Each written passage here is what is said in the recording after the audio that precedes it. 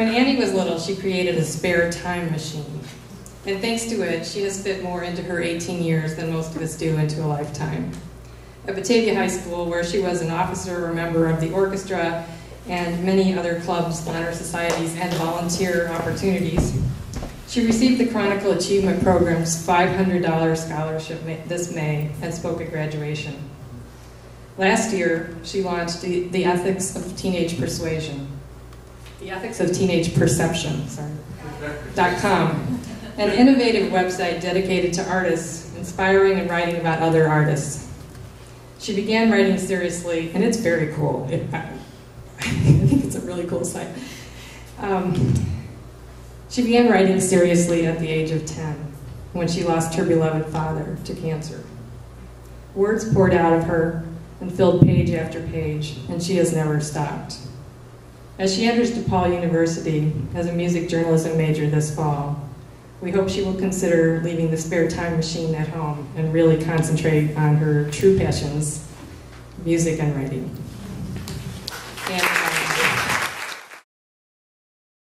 And, So what I'm going to read tonight is a collection of short stories about my own life, um, which I've been writing for a long time.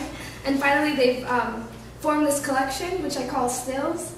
And I'm going to read you the first chapter, which is about my dad. I'm going to skip a few parts and just read some short stories, but um, the first chapter is called Still Life. And this piece is called Vacancy. As I roamed down a bland hallway that looked like it hadn't seen a decent paint job since 1984, I peered into the doorways it housed. I came to learn that these doorways held the most cut and dry outcomes. Blatantly speaking, it was either dying or surviving. Through these doorways, I saw those who were just waiting to be dragged out of their misery. I saw those who had become skin and bones as they graced a platform, so to say, just waiting for redemption. I saw those who were angelically comatose, staring outward, with eyes placed over, as if their bodies were already vacant. The bodies confined within these doorways would be the only tangible relics to prove that they had been there. However, it would be their legacy, whatever that may be, that would prevail. Legacy dictated by faith in fate, faith in this idea that we are so constantly traveling where we are meant to be. It seems that eventually we will all travel in and out of these doorways. When we do travel out of these doorways, we'll cling to this idea that we're going to a better place.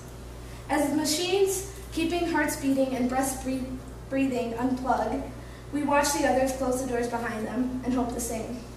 Unapologetic emptiness then fills the rooms, now vacant to the blind at heart. The cycle of vacancy and occupancy will start off once again, right where it left off. Yet I refuse to compel my faith in vacancy, in faith. This next piece is called An Extended Business Trip. I gazed into a new doorway as a quiet bystander that would go unseen. Words were not needed to tell me what was going on, for this time the sentences were clearly showcased. In a room where the only light was the chilling sun through the slim cracks of the blinds. In the room, a family surrounded a cancer patient. They all stared at him glossy-eyed. He was debilitated, for he could no longer speak. Then again, he did not need to, as mere words could not combat the amount of pure adoration he had for all of them. The clock taunted him as it dictated the last minutes of his life. His eyes grew wide and awestruck. I knew he had to be seeing it, this place in the sky that this whole human race has been buzzing about. As two o'clock struck, a single tear flowed from his dry, elsewhere eyes. I swear I saw his soul float up that day, but this could just be a, self, uh, a falsehood I self-comfort with. A hospice volunteer interrupted with a harsh and blunt whisper. He's dead. As I continued to witness this all floating outside my youthful body, I realized he wasn't actually dead because this wasn't living. When the sun set in his veins, I gave one last rub to that chemo-exhausted scalp of his, which felt like silky velvet. When his body did give out, I knew he'd shed all the petty human emotions that had come with it. I knew he'd exiled from pain that had previously stricken him to that mattress. Now, as for my workaholic father, he'd, he'd be on what we'd refer to as an extended business trip. Every so often, I'd hope he'd walk in those four-year doors, and say hello. Instead, though, I write him postcards. I don't address them because I never know where they'll go. I know he gets them, though, every last single one of them.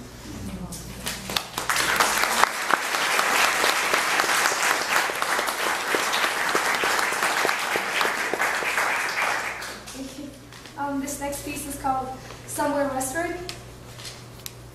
A few weeks later, a younger girl tried to comment along the lines of, I'm sorry your dad's gone. I simply replied, He's not gone. He's right over there. In saying so, I pointed to where I had objectified heaven to be, west of this forsaken town, beyond the stadium lights that surrounded us, towards the deep dimensionless structures, uh, clusters of stars and inner-working galaxies, amongst structureless perfection. It was where the venomous mechanics of his disease could no longer hurt him, just past Venus. I knew he was there as I waved to the unrelenting great unknown.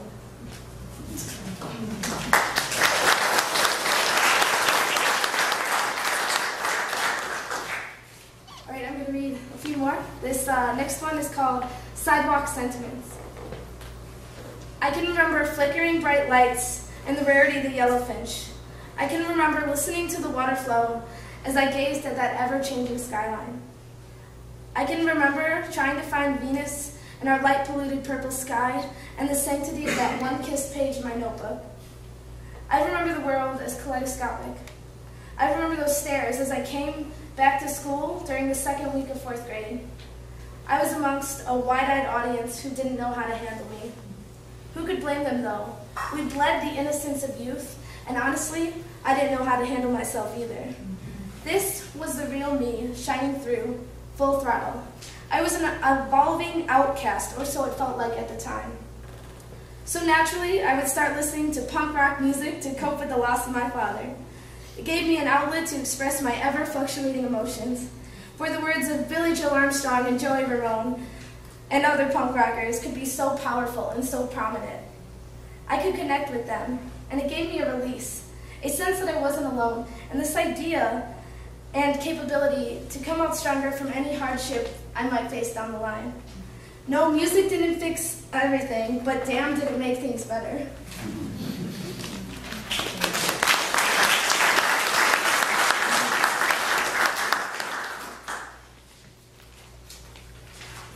This next one's called The Sea of Sunflowers. It was years later. The earth, my earth I should say, was a decaying wasteland. It was a conceptualized desolation row. This was the world collapsing. It was like an atomic bomb unleashed hell on the city which was unrecognizable at this point. There was no life to be seen except the sparkle or lack thereof luster in a screen filled with gray static. There is, in the distance, a tiny chapel. I ran to it in hopes of finding the divine light I had been searching for.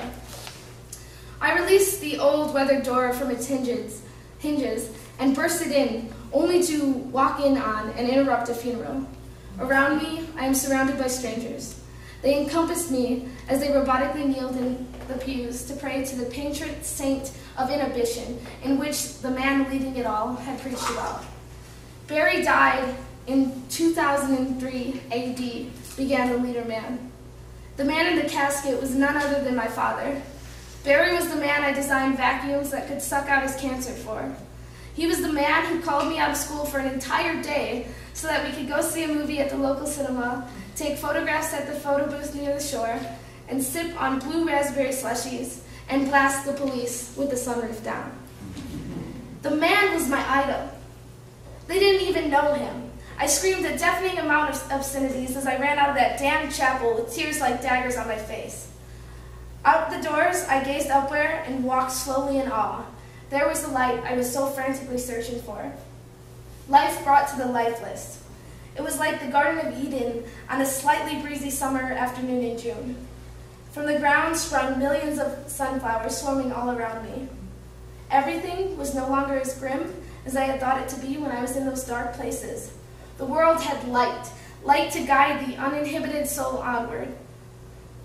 From the graves to the sunflowers that replaced them, the world was calm again.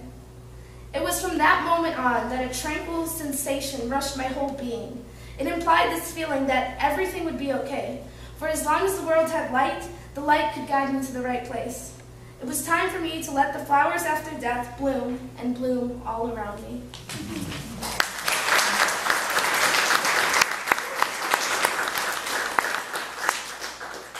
As you can tell, I, I have a lot to say all the time. but I'm just going to read this one last piece. Um, it's called Medium Rare.